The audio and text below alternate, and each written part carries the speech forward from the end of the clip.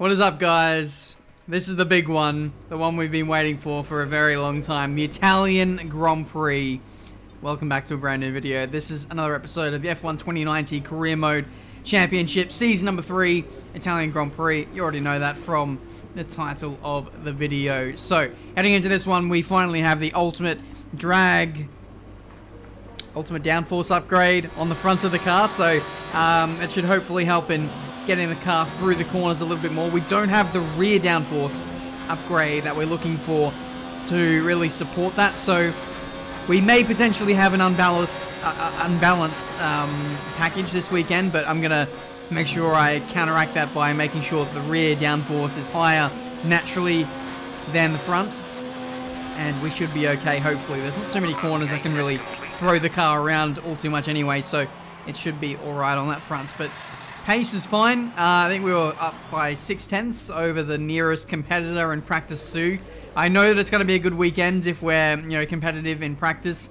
Um, even if we're not sometimes, that's fine because, yeah, um, you can always find a little bit more time with engine modes and with fresher engines, but um, the pace is, is, right there from the outset, so that is encouraging to see. Heading into qualifying, though, we're going to chuck in um, some near new components for the engine. I think we're going to go for um, the engine components we ran in Belgium in an effort to, uh, yeah, just find a little bit more pace. And uh, we'll save maybe the freshest components for later on in the season. We'll see how qualifying goes and if the pace is there, but um, early doors means I think we can get away with running a slightly older engine for quali. We'll see. Practice is all wrapped up as we move into qualifying here at the Autodromo di Monza for the Italian Grand Prix. Any moment now, the teams will be heading out onto the track. But yes, with all of those formal introductions out of the way, we certainly want to win this Grand Prix, or at least that's what I've been building towards um, after the fantastic episode we had last time out in Belgium. Go check that one out if you haven't already. Uh, we negotiate qualifying one. We are the fastest car once again, so that is Really encouraging to see it. 116.1 gives us good momentum heading into the rest of the qualifying sessions. However, the AI, I feel like, may switch up the engine modes for Q2 and Q3. They do it in real life, so it's entirely possible that they will do it uh, in the game as well. But yeah, we'll see on that front. We move on to Q2, and we're using a used set of softs, but Valtteri Bottas is completely balking our lap and uh, that's the first run kind of out the window. We press on to finish the lap and it's a 17-1. So it's a, I think it's a second slower than what we managed in qualifying one. We're going to press on again for another lap, still on the same set of used tyres. These uh, softs will be screaming for mercy at this point. They've done a lot of running um, in qualifying, but we do a somewhat competitive lap. It's a 116.6, uh, but we still need to uh, yeah, chuck on a fresh set of softs and then see what our representative pace is up against the AI in this session. And uh, as you can see there, the AI have stepped it up massively. That's a 15-3 from Lewis Hamilton. I don't really understand how an extra engine mode can give you that much performance, but if, if there is going to be a place where it works out, it's going to be Monza, the Italian Grand Prix. Um, I was being told over practice that I was the fastest car on the speed traps, topping out at like 360 odd kilometers an hour, which is pretty darn insane. We have still stuck with our low downforce mantra, but I, am starting to question it now as we come to the end of Q2. Um, maybe I haven't got enough downforce on this car. Um, because I am struggling a little bit through the corners. Like Parabolica isn't the strongest for us, and then the two Lesmos not too strong either. But everywhere else, you don't really need too much downforce. So, I don't know. We'll see. Even if we're not, you know, overly competitive in qualifying, we should be pretty beastly in the in the race where, um, you know, top end speed isn't so abundant, and you have to, um, yeah, it, it, definitely makes a big difference having a, a low downforce setup in the race as opposed to qualifying. But uh, so far, the pace again, it seems like we're struggling for it a little bit. We were dominating the start of the weekend, and even the start of qualifying one, but we move on to Q2 and Q3 where the AI have quite clearly stepped it up. We um, are unable to uh, match it with them at the moment. We've only done a 16-1 so far as our opening lap in Q3, which matches Q1. Uh, but we need to find, I don't know, half a second, probably more, in order to really mix it with our teammate, who is actually on provisional pole position at the moment. He's done a 15.6, so half a second, and we're right up there with our teammate on the front row of the grid. How good would that be to see two Ferraris on the front row of the grid? Uh, Kimi, though, has actually uh, opted not to go out again for his final run. He's actually in the pit lane, as you can see there, but now we're seeing a, a rapid improvement from uh, the top field guys. Both the Alfas uh, you know, move into pole position respectively, but Hamilton best his teammate there, so it looks like he'll have provisional pole. For us, though, we're going to see if we can knock on the door of those guys. We're five tenths up on our previous best, but I don't think it's going to be enough to get pole position today, and it is only P5. So we put in our PB of the entire weekend, but we fall just short of Kimi Raikkonen. So uh, you can see right there where there's literally nothing to separate us on pace. Maybe Kimi uh, would have the edge if uh, you consider that he set his lap earlier on in the session. So heading into the race, it's going to be a very closely contested battle here at Ferrari and also at the front of the grid because I feel like we should be uh, a bit stronger in the race given our tyre wear, uh, our tyre, uh, tyre conservation uh, this car has. So uh, I'm not going to rule this out just yet, but it is a little bit ominous. I was hoping that we'd be a little bit more pacey uh, like we were in the Belgian Grand Prix. We got on the front row in that race. but here, I would have actually thought we'd be stronger here because this is the ideal circuit for us that plays into our strengths, but it doesn't look like it is falling that way for us in this weekend. But um, I did allude to this earlier. I didn't chuck in the absolute freshest components for the engine, and uh, I'm slightly regretting that. But we're going to rectify that now and chuck in the absolute best power unit components we have in our bank, and we're going to hope that that is enough leverage for us to get in the fight for the win of the Italian Grand Prix. Let's get it. It's race day here in Italy once again. Monza, home to so many records. The smallest winning margin, for example. Do you remember in 1971, Peter Gethin beat Ronnie Peterson to the line by one hundredth of a second. There were 40 overtakes for the lead alone in 1965, and Kimi Raikkonen clocked a record top speed of 230 miles per hour here, just over a decade ago. So there's a lot to live up to then for all of our drivers today. Also here, of course, is Anthony Davidson. Let's talk about Day. What do you make of their performance so far this season? It's been a really solid year so far. There have been some incredible standout performances, but what's really impressed me has been the consistency. With this kind of form, I'm expecting another great race today. Okay, this is the team's home race. We're all relying on you to impress today. Yes. Not only the pressure of the team, but for, for me, the pressure of the whole of Italy, I suppose. Falling on myself and Raikkonen's shoulders. Welcome to the Italian Grand Prix. We are geared for an absolute classic here today. I feel like we have amazing race pace. But we've got five other cars, or four other cars, to uh, climb over in order to get on that top step of the podium. The lights are building. Five red lights. And away we go for the Italian Grand Prix for the third time in my F1 2019 career mode. It has been an absolute shocker. We get jumped by Verstappen, by Perez, by Vettel. Anyone else want to take a pot shot at us heading into turn one?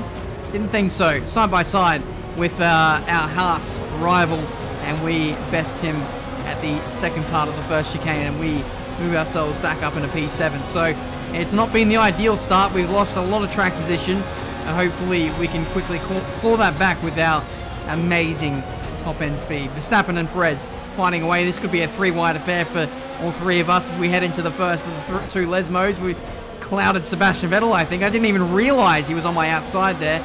Uh, we'll have to check the replay to see if there's any damage for his uh, front wing. But um, yeah, a bit of a messy start for us so far. Yeah, I'm just, oh my goodness. I mean, honestly, I'm going to hit someone. I think I have a puncture. Tires are fine, tires are fine. My Wow. Okay, I, I had no idea. He was on my outside. I was swinging back to the left in order to have a nice flowing run through the high-speed right-hander.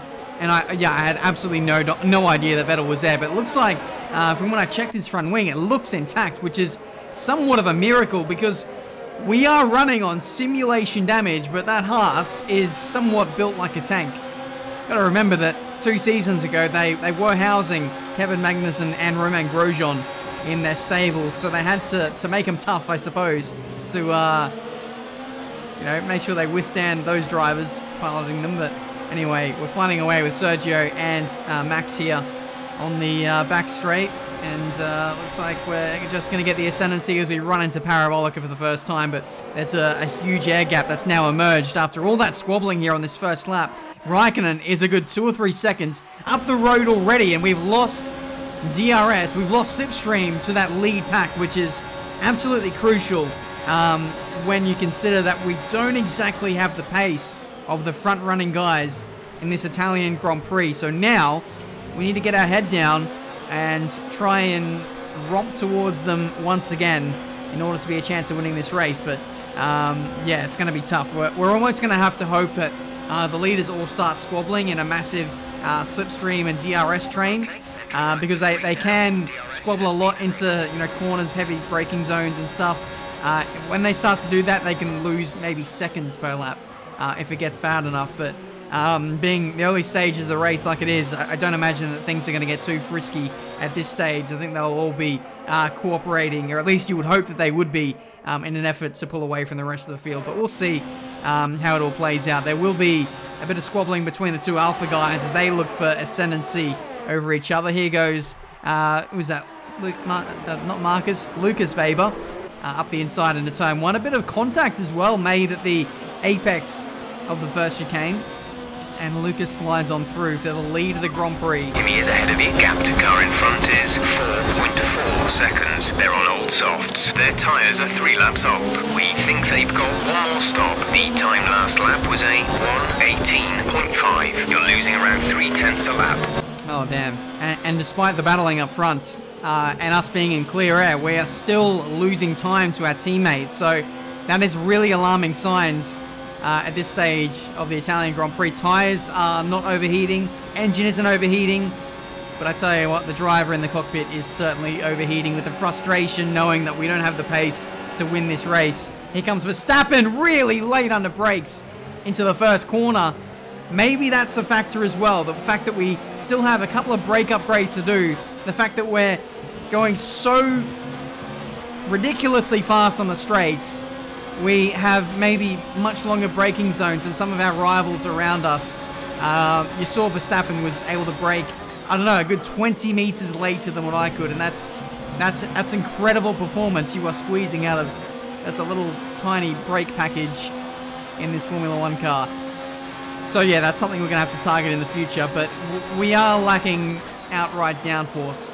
We'll see how it compares up against the Red Bull as we go through Parabolica. The understeer we get through there is, is not great, and it puts us under pressure from Sebastian Vettel. So now we're having to contest with the dirty air as well as the lack of downforce we are showing at the moment. Let's see if we can bravely outbrake Max Verstappen, even though he had the inside for the corner. Normally, if you have the inside for a corner, you have to brake earlier. Verstappen was still able to brake a good 5, 10 meters later than what I could, which is frightening performance that they are getting out of their cars. That This is a trade of my career mode cars. I, I often neglect the braking elements, which is a very important facet of car performance. Um, it, it has certainly been exposed today uh, in this Grand Prix. Look at that wash away of the front end. Just dirty air, just caught behind uh, the back of Max Verstappen's wing.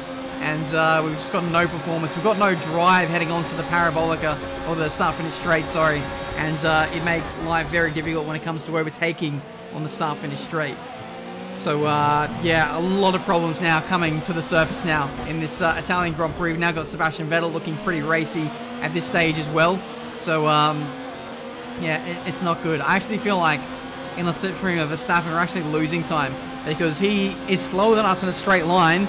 You can see that. Oh no, he's retiring. That isn't slow performance from the Honda. That is a genuine retirement. Max Verstappen is out of the Italian Grand Prix. And I gotta say, that's gonna be a bit of a blessing for us because we were literally trapped behind Verstappen.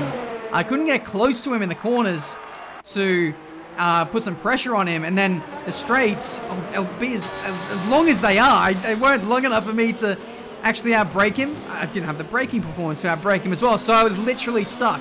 This is a very unique problem that I'm having at the moment in this Italian Grand Prix Uh, we're just not fast in the areas that matter. And here goes Sebastian up the inside into the Ascari. That was uh, an interesting choice, but we managed to get through there cleanly. I'm going to let Vettel go through here because I know that the Haas is actually a faster package than what the Ferrari can offer up.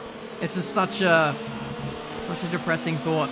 Just having to give up a position in order to hopefully give us a chance of moving forward in this Grand Prix. But um, yeah, it was getting to a point where Vettel was attacking me into a lot of braking zones. I was having to run side by side. It was not good for our race, so I'm letting him go in the hope that we can pick up some performance and start closing into uh, the other half of Nico Hulkenberg and Kimi Raikkonen up ahead.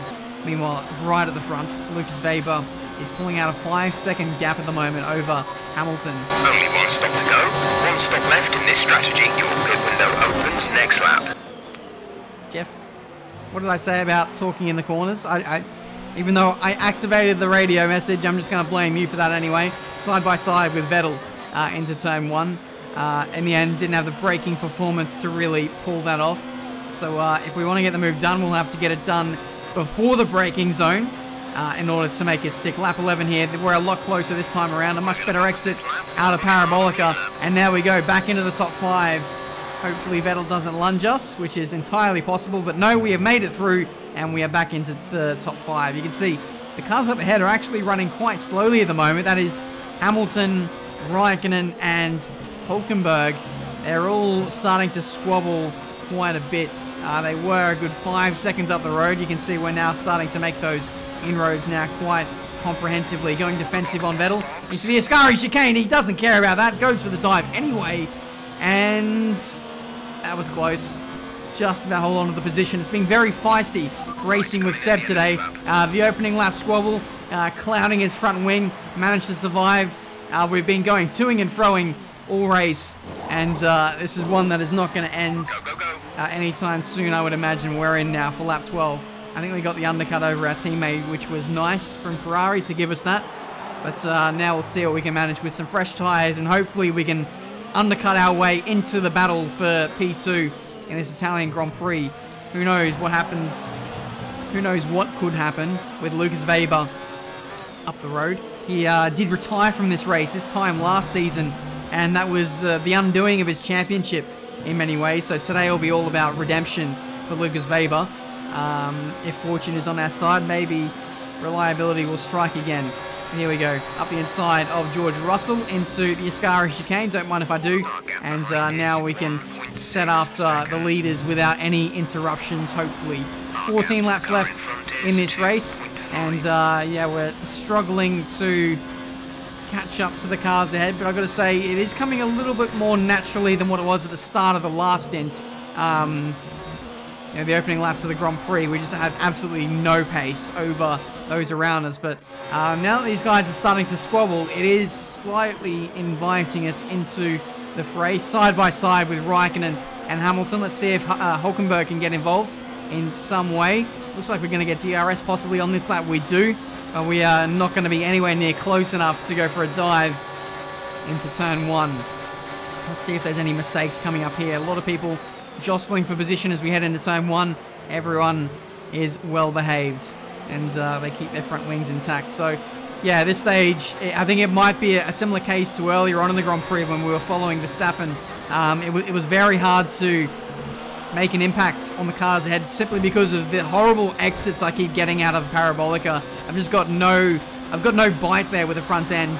It's not a tire issue. It's not a grip issue. It's literally uh, downforce. I just don't have enough of it on the front end, despite having the ultimate front downforce upgrade. There is nothing more I can do to this car upgrade-wise. I've just blundered on the on the setup, I suppose.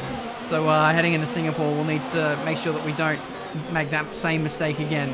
But anyway, into the middle sector. Raikkonen and Hulkenberg getting very defensive there. Um, no positions changed there, but that allows Hamilton to just breathe a, a sigh of relief for half a lap, and now he's under attack once again from Raikkonen as they head into the middle sector chicane. We're trying to get a nice exit there. Weber has just completed a pass for the lead. No, he hasn't. Weber has been leading basically all of this race. Engineer, you are drunk, go home. But anyway, I tried almost like an under and over move on Hulkenberg into the middle sector chicane. Didn't quite work out for us. But if uh, Hamilton and Raikkonen can battle again into that section of the track, we are closer this time, so maybe if we're lucky, we might be able to do something similar um, if luck goes our way. Here we go. Let's uh, pick a line into the middle sector chicane. Hulkenberg going defensive. Let's see if we can get the inside for the second part, and we do. We're into P4 in this Italian Grand Prix. A very risky move, but we have managed to pull it off. Raikkonen is up next. And uh, I gotta say, I think this is just gonna have to be the ploy of the race, taking risks in order to get these moves done, because we don't have the performance to really run with these guys. Look at Hulkenberg, the momentum he's getting uh, off the exit of Parabolica. God, I've said Parabolica too many times. Ascari, it uh, made me look behind me as opposed to focus on what was going on in front of me. And again, a, a really nice exit for Hulkenberg. He's got amazing grip and high speed. That is the strength of the Haas as we nearly run side by side in the turn one. Raikkonen steals P2 in this Italian Grand Prix. Let's see if we can get Hamilton uh, the same way that we got Hulkenberg. And there we go, second part of the chicane. A bit of a nudge this time, but we are on the podium for the Italian Grand Prix. It is a Ferrari 2-3 at this stage. I'm starting to lose my voice, but this again was a very risky move. Just sticking the nose in there, and uh, if anything, it was the bouncing on the curb, which actually sent me into the path of Hamilton. So if not for that big bouncy castle curb, as you'll see here, yeah, just carted us wide a little bit into Hamilton's line and pushed him a little bit wide. But I feel like that was that was fair enough. That was that was just about clean. Maybe in some people's interpretations, probably not clean, but um, we didn't completely barge him off the road. Uh, we slide up the inside and uh, we're on the podium once again. Here comes Hulkenberg. He's got in front of Hamilton somehow and uh, was putting us under pressure into Ascari. But there we go. That was a bad run for Hulkenberg. And uh, that allowed us to kind of break the slipstream, to break the DRS. And for the rest of the race, um, we were able to, you know, run our own pace for the first time in a while. Um, and while, you know, Hulkenberg kind of lost slipstream and DRS, that put him under a lot of pressure from uh, Hamilton, who was behind. And so, um, yeah, they just kept battling and kept on falling further and further back in the race. But Lucas Weber wins the Italian Grand Prix. He gets redemption one season later after the nightmare that was season two. And uh, he heads into the second half of the championship with a, a very, very handy lead against his name. For us here at Ferrari, it is not going to be the win that we were oh so hoping for, but it will be a double podium, and I hope that the Tifosi are proud. Top job, my friend, top job. I was a bit worried about this one at the start of the weekend, but you pulled through. Thank you. A victory for Alfa Romeo. The team will certainly be celebrating tonight. Anthony Davidson, what helped them deliver this result, do you think? Well, they certainly stood out as a drive with tons of confidence on the track. I think their ability to keep their cool, even during some of the more hectic parts of the race, meant they were able to capitalise on the mistakes of other drivers, giving them the opportunity to make their way to the top spot with ease. So here they come now, out onto the podium. It's thrilling to see this team go toe-to-toe -to -toe with the best teams in the sport and come out on top. What a superb victory from the Alfa Romeo team. I don't really know how fast he was, but it was uh, quite a convincing win for Lucas Weber today. A, a runaway victory. Um, got the ascendancy over his teammate, and then somehow broke DRS, broke slipstream, and um, he was never seen again. So uh, well done to him. He, he, redeems himself after last year's nightmare with the engine failure, which um, yeah really put pain to his championship. He would have won it otherwise. Very similar circumstance to Lewis Hamilton in 2016, I think it was.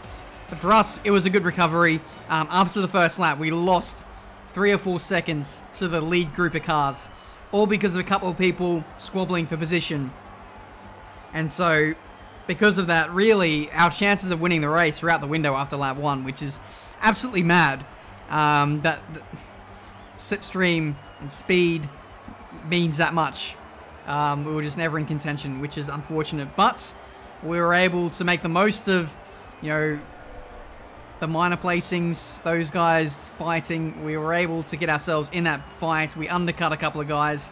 And uh, with a bit of luck, with a bit of risk, a bit of bravery, we fought our way onto the podium, literally, um, fists out and all. It was uh, a very interesting race. But hopefully you guys enjoyed this one, the Italian Grand Prix. I, I really wanted to win it, given that I haven't driven for Ferrari in five years. This is our first chance to impress at Italy, and um, unfortunately we, we dropped the bag on that one. So we'll have to make amends, who knows, next season. But um, that's, a, that's a long time away. There's a lot to figure out for the rest of this season. We've got the championship to worry about. We've got the regulation change heading into season four. Uh, contract negotiations. Do we want to stay at Ferrari? Can we, can we recover enough of these components to stay competitive next season? That is a huge question mark and something we'll definitely need to consider heading into next season. So, um, yeah, I'd imagine that the, mm, it's it's a tricky one, you know, because the likes of Alfa and Haas have hit their ceiling, you would say, or at least have the majority of their upgrades all on the car. So that means they have to they have to consolidate all of these parts before the end of the season. So you would think that they'd be in a good position resource points wise because they don't need to spend points to continue upgrading. They can just consolidate what they already have. But at the same time, they have to consolidate more than say Toro Rosso at the bottom of the field. They maybe they may not have to consolidate many parts at all. And so I don't know. I feel like it, will be a good leveler heading into season four, but it's it's really going to be quite ambiguous as to who's going to be on the pace and who won't be um, next season. Which, um, yeah, it's really exciting because I, I it's, it's going to be a stab in the dark whether I stay at Ferrari and whether that's going to be a, a master stroke or do I go to another team and risk maybe falling into the midfield or potentially even shooting to the top? I just don't know. But upgrade wise, uh, what did we do? I think we did. What did we do? Brakes? No, we didn't do brakes because we got a brake upgrade heading our way next race for Singapore. That's a major one. We did um, uh, drag reduction, which uh, is odd uh, considering the struggles we had today, but uh, we don't have the, the means to upgrade uh, an ultimate brake upgrade. Um, we just fell short on resource points on that one. So that will be the final upgrade we do, I feel like, on this car before we consolidate some upgrades. But after that, we should be all gravy for the rest of this season. But that's it from me today. Thank you so much for watching. Leave a like if you enjoyed. Subscribe to the channel if you're new to see plenty more racing game content. And until the next one, the Singapore Grand Prix. If I've got my timing right, I might have the Singapore Grand Prix career mode going live on, I don't know, either the Saturday or maybe even the Sunday of the actual Singapore Grand Prix. And I feel like that'd be uh, a nice timely video to schedule out. But that's it for me today. Until the next one, I'll see you next time.